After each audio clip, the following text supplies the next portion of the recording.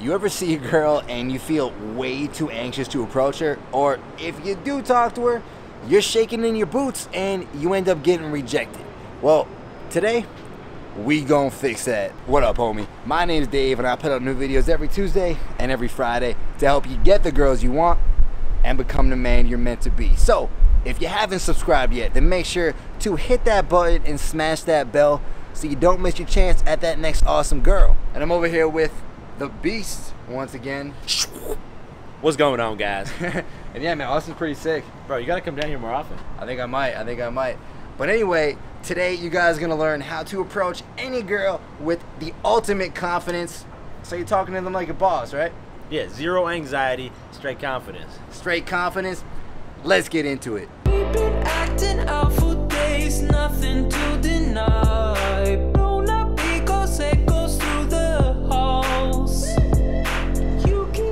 All right, man. So picture this: you're going out with a couple of your buddies. Maybe you even have a couple drinks before you get to the bar.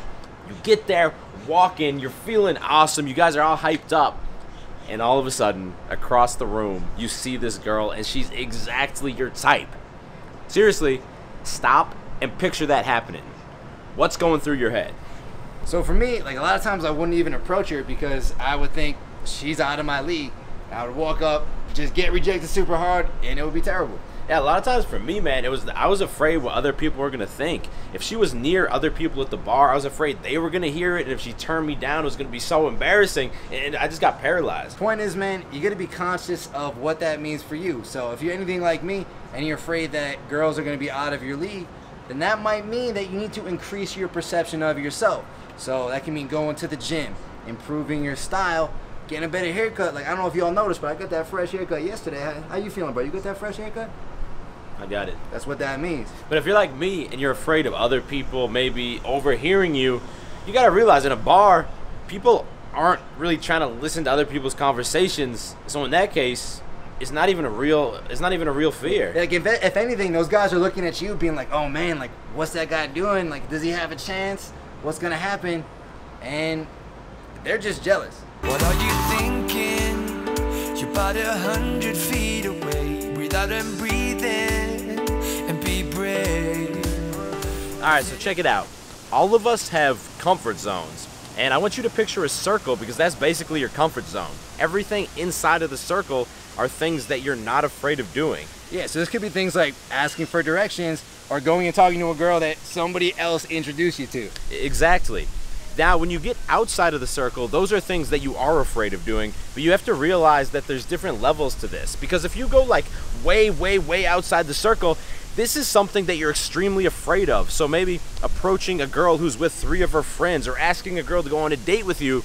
And It's these just gonna be too much. It's gonna psych you out, right? yeah, it's not productive to try and do these things because you're probably just going to get paralyzed. What you want to focus on doing is finding those things that are just on the edge of your circle. They're scary, but they're still manageable. So maybe for you, this is, you know, finding a girl who's all alone and approaching her. And when you do these things that are at the edge of your comfort zone consistently for months and years, what's going to happen is that circle is going to slowly expand and before you know it, doing those super scary things, it's not going to be that scary anymore. Yeah, and you gotta realize, me and Dave have been doing shit that scares us for years. From approaching girls to filming these videos in public, filming ourselves approaching girls in public. yeah, which is a whole nother level. Uh, the point is, we've stretched our comfort zone, but it doesn't mean there's not still things that we're not afraid of. yeah, for example, there's a super crowded area of people down there. If we go down there right now and I was to start like singing and dancing, that's still kind of scary. Yeah, I wouldn't want to do that, man.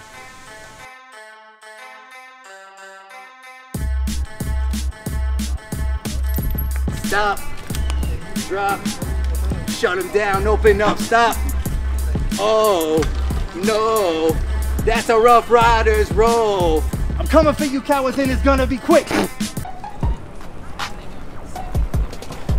Chain hang low, let it rock down to the floor. Let it shine in the light. Is it platinum? Is it gold? Can you throw it on your shoulder if it's hot and makes it cold? Let your chain hang low. Is that your chain? Oh man, yeah, I feel like every time I'm making a video with you, we do some ridiculous ass shit. We have to. Yeah. But guys, if this is something you want to do, right? Like supercharge your confidence, get over your approach anxiety with these types of challenges, But Dave has a course with that, right? Yeah, I got this course. It's called 30 Days to Alpha.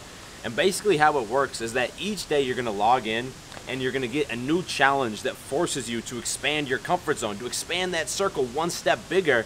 And the idea is that it doesn't matter how shy or quiet of a guy you are right now. If you join the course and you make it to day 30, doing things like approaching hot girls, approaching groups of girls, asking girls out, like all of this can be easy for you. Yeah, I've checked out the course myself. It's awesome. And Dave's actually hooking up a discount for everybody who watches this video. 50% off, insane. 50% off. Just hit the first link in the description. But hold up, bro. I- I'm only gonna allow this for the next three days. Then it's back to regular price. So you better take advantage right now. I thought that I could keep it low. Take it easy, take it slow. We ended up just like before. So So a lot of anxiety stems from just not knowing what to say when you talk to a girl. So what can you do to solve that? Well, there's really two simple things you can plan out just a little bit to make it easier. What are those things? So the first is to have a couple of conversation starters in your back pocket. Maybe something simple like, "Hey, you guys look like fun. How's your night going?" Or, "Hey, I know it's just random, but saw you walking by and thought you were cute and I wanted to say hi."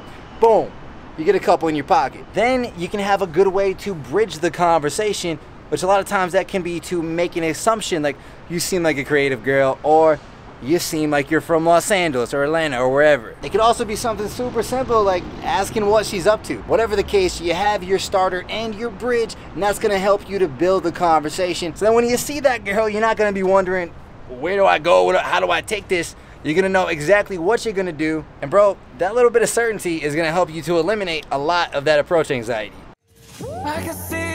We are, don't know where we belong. Wanna know what you're thinking, wanna know if something's missing. Started stories before, but they ended. All right, so like, what is the reason that you approach a girl in the first place? It's probably because you want to hook up with her, or you want her to become your girlfriend, maybe, or something. And that's normal. That's the outcome of the situation that you want. But the funny thing is that if you're thinking about this outcome when you're approaching the girl, it's gonna fuck you. It's gonna make it seem like it's this big deal, and you got all of this. You have so much riding on the interaction because this could, could be the next girl you hook up with. This could be your next girlfriend. Yo, when you think about it, like how many girls have we approached? Thousands. And how many girlfriends do we have? Have we had? I've approached thousands of girls. I've had three girlfriends. I've done the same. I've probably had like two or three at most. And it's funny because that means that like the chance of any single interaction turning into something like super meaningful is like nothing, bro. So the next time you're thinking about approaching a girl and you're getting all nervous, just remind yourself that it's supposed to be fun, right? It's not supposed to be this big deal. Yeah, man. It's like when you go to the gym, you do a bunch of reps, right? Approaching a girl is just like another rep. That rep itself is not super important, but, but like it, it is a stepping stone to get you where you're trying to go. Bottom line is, we just out here doing reps, whether we in the gym or we at the club. So boom, it's- boom, boom. Another rep, another rep, another rep, DJ Khaled over here. another one. And speaking of taking more reps, we just filmed a video on How to Beast channel. What's it called? How to get hot girls even if you're average looking. Boom. You can check that out right here. Let's keep it going. I'll see you there, homie.